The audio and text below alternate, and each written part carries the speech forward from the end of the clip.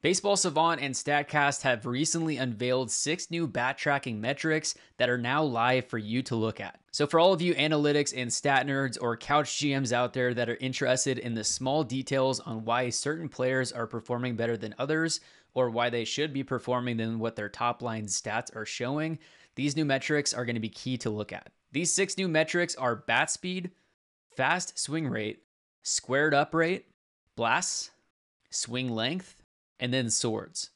MLB recently released an article, which I will link in the description of this video, explaining what each of these new metrics are, and that's what we're going to cover today, all of the small details. The article starts off by stating that dating back to the start of the game, Players on both sides of the, ball, of the ball have been looking to gain an advantage. Pitchers are looking to gain velocity and to gain movement on their pitches. And in the same light, hitters are looking to hit the ball harder and farther. And so, one of the ways that the batter can control how far or how hard they hit the ball is via the bat speed. You look back to this offseason specifically, Ty France was at Driveline Baseball, and it was noted that he gained about three to three and a half miles per hour of bat speed throughout the offseason. A couple other big names that have openly talked about trying to increase their bat speed are Mookie Betts and Lars Nootbaar, but pretty much every big leaguer is at a driveline baseball or at Tread Athletics trying to in- increase those small metrics that make a big difference down the stretch. This article states that in the prior years, there's been a lot of testing done on these metrics,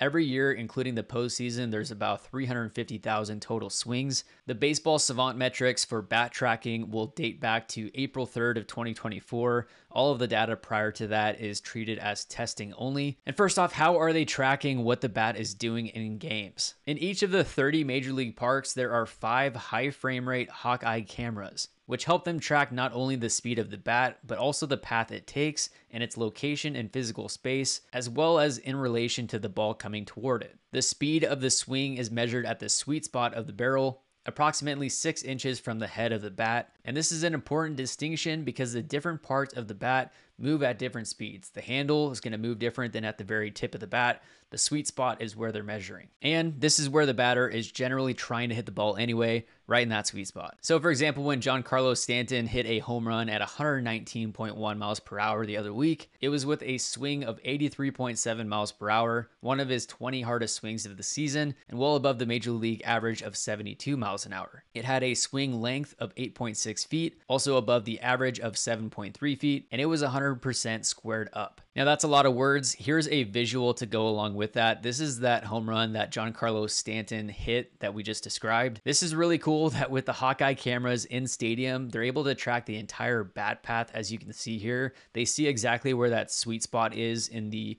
most white part of that swing. And then, of course, there's the trajectory of the ball, the ball speed. And then, as we get more into it, all of those numbers will make more sense as we talk through these six new StatCast metrics. So, first off, starting off with bat speed. So, how is bat speed captured? Bat speed is measured at the sweet spot of the bat. A batter's seasonal bat speed is the average of the top 90% of his swings. The MLB average bat speed is 72 miles an hour. It states that bat speed is obviously the baseline for a hitter, like fastball velocity is for a pitcher. It's not everything, but it is important. As the science goes on balls hit in the air, every one mile per hour of bat speed earns you approximately six more feet of distance, which is enough to turn a warning track flyout into a home run, which is widely valuable. As I mentioned, Ty France gained about three miles per hour of bat speed this last offseason. If you take that three miles per hour, multiply it by the six more feet of distance, that's potentially another 18 feet of distance that Ty France could get on a fly ball compared to last year. That is a massive difference, especially considering that the warning track itself is probably about 10 feet. I stand corrected, the warning track is actually about 15 feet. So when you look at the distribution of all swings in 2024 so far, you get a visual that looks like this graph here showing that the MLB average swing is 72 miles per hour and that two thirds of the total swings are between 68 miles an hour and 77 miles an hour. A player's seasonal average is taking the average of the top 90% of his swings because they're just not interested in what happens on check swings or bunts, which is why they're not accounting for the bottom 10% of swings. The average swing is 72 miles per hour, and the spread here is approximately 20 miles per hour from the slowest in Luis Arraez at 62 miles per hour to the fastest in, of course, Giancarlo Stanton with an 81 mile per hour average bat speed. So let's take a look at the top 10 swing leaders so far in 2024 and then the, the guys that have the slowest bat speeds so far this year. As you can imagine, these are updated numbers as of May 21st. Giancarlo Stanton is still in first place, and there's a decent margin between himself and Oneil Cruz, who is second. Giancarlo Stanton has an average bat speed of 80.5 miles per hour, and his fast swing rate, which we'll get into in a second, is 97.5%. Every time Giancarlo Stanton swings the bat, he is swinging as hard as he can because his job in between the lines is to hit nukes.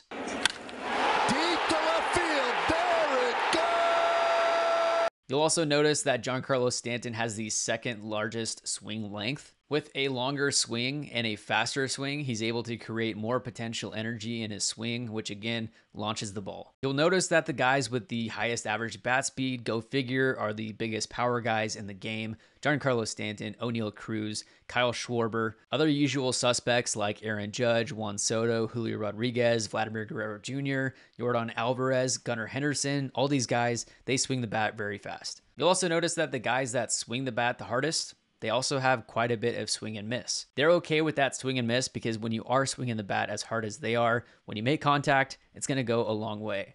Now, the guys with the slowest bat speed, first off is Luis Arraez. What you'll notice with him, he's the batting champion. He swings the bat on average the slowest, but these guys with the slower bat speed, they're able to have a bit more control on the bat. They're going to have a higher contact rate, and you might see some of these guys with a higher batting average than some of those bigger power guys. But as we'll get into, there is a balance between swinging it hard versus swinging it soft.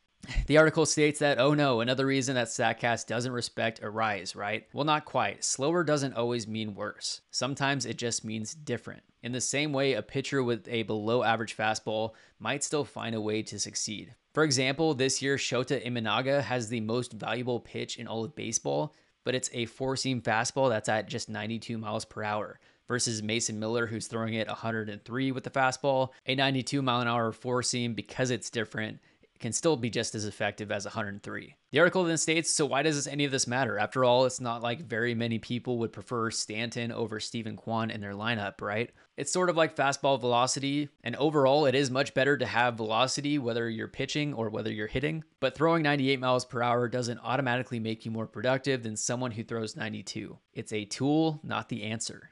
Still, the data makes it pretty clear if you're not an outlier unicorn in terms of back control like Steven Kwan or Luis Arraez, you'd probably like to swing hard if you could. On swings with an 80 plus mile per hour bat speed, they're averaging a 321 batting average, a 665 slug, a 419 weighted on base average, 52% hard hit rate, and a plus 2 run value per 100 swings. 70 to 79 miles per hour bat speed, you're looking at a 274 batting average, of 477 slug, 46% hard hit rate, and then dropping bat speed down to between 0 and 69 miles per hour, you're looking at a 202 batting average, 254 slug, a negative 4 run value per 100. The faster you swing the bat, likely the harder the ball is going to be hit, and the higher overall batting average and potential damage that you can do will increase. The average home run bat speed, for what it's worth, is 75 miles per hour. And it notes that the two slowest home run swings so far this year came from Isaac Paredes in Coors Field at 63 miles per hour. And then at Yankee Stadium, the short porch was off Jose Trevino, 63.1 mile per hour swing. So now talking about fast swing rate. A fast swing is considered any swing that is 75 miles per hour or above. Approximately one quarter of swings are fast swings. In a similar way that a hard hit ball is one that's hit with an exit velocity of 95 miles per hour or higher, a fast swing is one that comes in at 75 miles per hour or more. Approximately 23% of swings are considered fast swings, 75 miles per hour or faster. It also notes that a number of players, including Arraez and Kwan, don't have a single fast swing. And as we saw in that chart before, guess who swings fast the most often? That's right, Giancarlo Stanton. 75 miles per hour was chosen because that's the line where, on a per swing basis, a swing goes from a negative run value for a hitter to average on its way to being a positive run value. This is where it gets really interesting because Giancarlo Stanton and Oneil Cruz have the top two fastest swings in the game. But as you can see here, Giancarlo Stanton's fast swing rate is like 97% is what we just looked at. Oneil Cruz has a fast swing rate of 75% now. And when you compare their distribution of swings, this is where it gets really interesting. This is Giancarlo Stanton's and Oneil Cruz's bat distribution comparison. As you can see, Giancarlo Stanton swings the bat very hard, very frequently. Oneil Cruz still swings the bat very fast, but you can see that his distribution is a bit more spread out. What this means is that Giancarlo Stanton, even when there's a slider three feet out of the zone, if he's swinging, he is swinging hard. Oneil Cruz, for example, if you were to see a changeup breaking down and away from him, he will slow his bat speed, giving him a better chance of making solid contact with the baseball. This article states that Cruz slows down about one quarter of his swings beneath the fast swing line. Again, while it's not a one size fit all thing, overall, you'd like to swing fast. On 75 plus mile per hour bat speeds, you're looking at a batting average above 300. On swings below 75 miles per hour, you're looking at a 247 batting average overall, a 371 slug, and a minus three run value per 100. The next key metric is the squared up rate. So, what is considered a squared up ball? Well, each swing has a max attainable exit velocity based on the speed of the swing and the pitch. If a swing attains at least 80% of that exit velocity, it counts as a squared up swing. A swing more than 80% squared up can only happen on the sweet spot of the bat. So, as the article states, this one is for you contact hitters, specifically Luis Arraez, Steven Kwan. They have very low bat speeds, but they have a tendency to square up the ball. This metric tells you how effective a hitter is at actually obtaining a swing's maximum exit velocity, based on what's possible considering the speed of the swing and the pitch. Similar to exit velocity, the batter is responsible for something like 80% of this metric. An example for this metric is that when Elly De La Cruz hit a home run last month against Milwaukee, he swung the bat 77.3 miles per hour against a 93.6 mile per hour pitch. The maximum exit velocity he could have generated there was 114.8 miles per hour, and he actually hit the ball 112.3 miles per hour, so that's considered 98% squared up, which really only can happen on the sweet spot of the bat.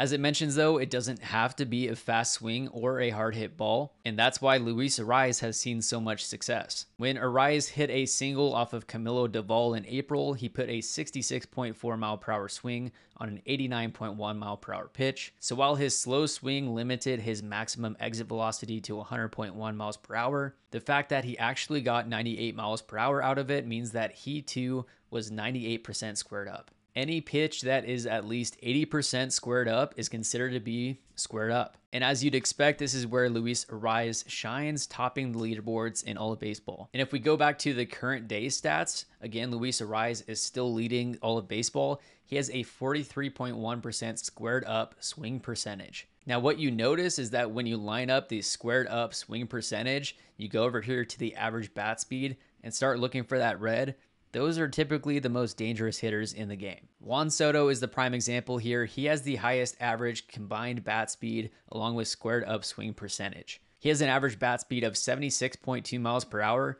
and a squared up swing percentage of 35.8%. But for the most part, you'll notice that a lot of these guys that are squaring up the ball much more frequently have a lower average bat speed. And when you switch the filter to the opposite, the guys with the lowest squared up percentage, there's a lot more red on the average bat speed. As I mentioned earlier, the guys that swing the bat a lot harder are typically going to swing and miss quite a bit more. Some of the guys in the top 10 to 15 of average bat speed that also have a low squared up percentage are guys like Jo Adell and Matt Chapman. You scroll down a bit and you have other guys in those top numbers like Kyle Schwarber, you got Christopher Morel, you got Julio Rodriguez. In general, guys with the higher bat speeds are going to have a lower squared up percentage. They're going to have a higher swing and miss unless you're a guy like Juan Soto who's able to control the bat path while also swinging very hard. And this article actually goes on to state that if it looks like a list of soft swings and oh my gosh, Juan Soto, well, they would agree because he squares up the ball like Steven Kwan and swings with 96 percentile speed. Now, looking at the top line results of squared up versus non squared up balls, the average on squared up balls is a 372 batting average, a 659 slug, a 439 weighted on base average, and a plus 11 run value per 100. Not squaring up a ball, well, it's not going to do you any good. You have a 127 batting average, a 1% hard hit rate, a 144 slug, and a negative 6 run value per 100. The next bat tracking metric that has been added is something called blasts. So, what is a blast? Well, a blast is the most valuable swing that there is. A blasted swing is one that is squared up and has a fast swing. A squared up swing doesn't have a bat speed minimum, but a blast does. Squaring up a ball is good, but squaring it up with a fast bat speed is even better. As we talked about prior, one thing that the squared up rate does not require is a fast swing, which is why Arraez is so good at it. But what if a squared up ball also had a fast swing? Well, that's what a blast is. According to StatCast, only 7% of swings qualify as a blast. The outcomes on blasts versus non blasts are pretty incredible. The top line results on blasts so far this year are a 546 batting average, a 1.116 slug, 99% hard hit rate, and a plus 32 run value per 100. On non blasts, you're looking at a 178 batting average, a 224 slug, 175 weighted on base average, a 17% hard hit rate, and a negative 6 run value per 100. As the article states, going from a non blast to a blast will increase your slug by about 900 points. So, who are the 2024 blast rate leaders? Kind of speaking to that last metric that we looked at, the average bat speed compared to the squared up swing percentage. Juan Soto had the highest combined average bat speed along with squared up swing percentage, and this correlates to him having the highest percentage of swings that are blasts. Juan Soto has a blast on 22.8% of his swings. And myself personally, I would have a blast on 100% of my swings if I could swing the bat like Juan Soto.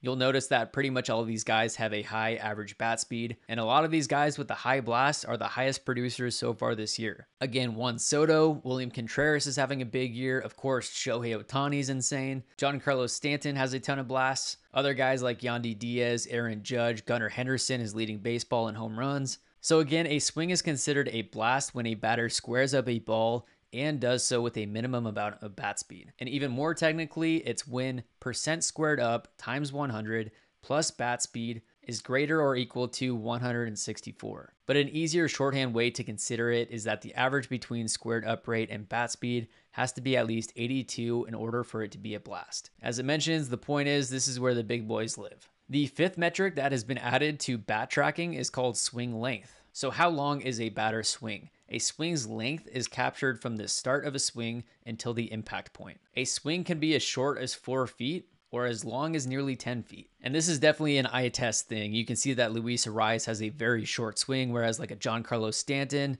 as it shows here exactly, has a very long swing. So here's a comparison between Giancarlo Stanton and Luis Arraez again. Giancarlo Stanton with a 9.7 foot swing length, Luis Arraez with just a 4.4 foot swing length. This is a massive difference. This is a difference of nearly six feet, which is huge. The article states that looking at the top and the bottom of the leaderboard, this one is satisfying because it's exactly the names you want it to be. Of course, Javier Baez and Giancarlo Stanton have long swings. Of course, Luis Arraez and Steven Kwan and other contact first hitters are quick to the ball. The article goes on to state that unlike some of our other metrics, however, this one's not clear as good or bad. It's more about a difference in style and whether you're trying to get power or contact. As you can see when you take their average of 7.3 feet and split it into longer and shorter from there, shorter than average swings have an average of a 258 batting average, a 359 slug, a 19% whiff rate, whereas a longer than average swing has a lower batting average but a higher slug, and the whiff rate increases to 30%. As expected, a shorter swing means that you're probably going to have a higher probability of making contact and have a higher batting average. A longer swing, you're going to miss more, you're going to have a longer swing, more power, but less batting average. It then goes on to compare Aaron Judge and Luis Arraez. For example, Aaron Judge, he has different lengths of swings in different parts of the zone, which makes sense because he has to extend to a ball low and away versus when it's high and tight. He's got to shorten that swing path, shorten that swing length so that he can make contact with the pitch up and in. And if we go to the current leaderboard for swing length, again, Javier Baez and Giancarlo Stanton are at the top. Javier Baez is in first place with an average swing length of 8.6 feet, but he still can't hit that first pitch that 50 Cent threw out. It is comedy watching Javier Baez try to hit a ball. You then reverse it, and of course, Luis Arraez has the shortest average swing length at 5.9 feet. You'll notice again that with the shorter average swing length, the guys will have an average bat speed that is lower. When you extend it up to a higher swing length, the average bat speed will increase, and the guys with the bigger swings are typically the ones with the more power. Now, the last bat tracking metric that has been added in Baseball Savant is called the sword. This has been popularized by the pitching ninja over the prior years, and essentially, a sword is when a pitcher makes the batter look awful. These are going to be the most awkward swings that you'll see. And likely, if a guy is breaking his ankles in the box and hitting the dirt, that's probably a sword. A swing is considered a sword when it meets these three criteria. One, it has to be a swinging strike. Two, it has to be where the swing is incomplete. And three, the bat speed has to be in the lowest 10th percentile. Here's the prime example of what a sword looks like. This is Jared Jones of the Pirates going against Milwaukee Brewers, Brice Turang at the plate. It's a swinging strike. The swing was not completed, and the bat speed was in the lowest 10th percentile. And he also hit the deck for good measure. Jared Jones should have been taking in for questioning on that one.